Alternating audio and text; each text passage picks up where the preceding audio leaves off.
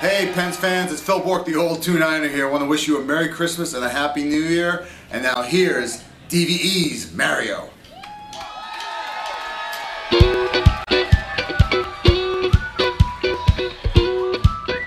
Uh, obviously, Feliz Navidad.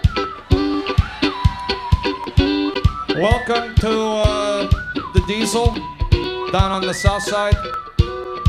Got the uh, glass of wine, you got to have that, especially on the south side for the intoxication.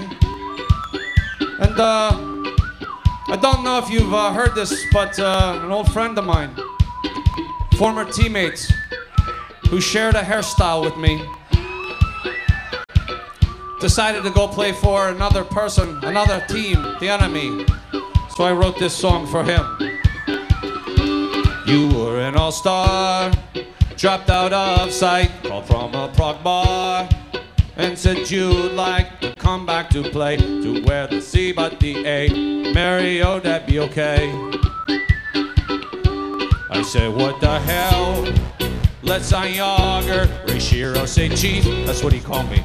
Why bother? I say two right or wrong. He was the cheech to my Chong. Back in the burg he belongs. Obviously it couldn't have been more wrong. Jaromir, I never liked you.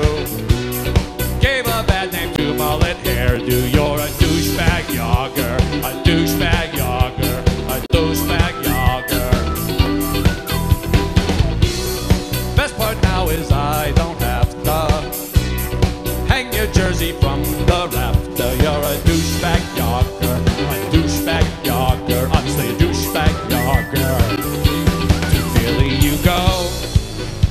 contract. You and Talbot aren't welcome back, especially you. All up Consol will yell boo. I'd use your teeth for corkscrew.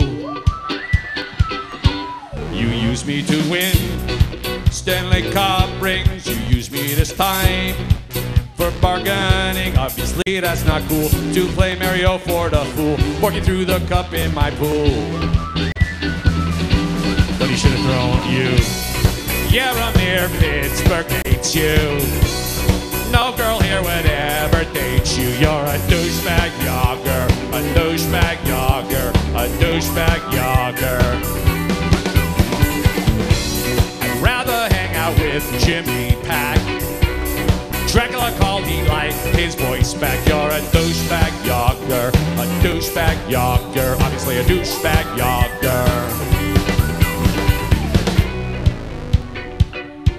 So Yags, uh, tell me, do the Flyers actually pay, you a check or they just deposit your salary right in the cashier cage at the Borgata?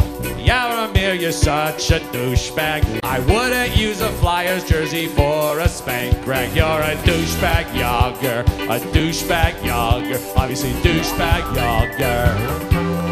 All right, boys, ice it. Uh, I would like to thank uh, Jimmy Pack for whistling throughout this entire song. Let's give him a nice round of applause.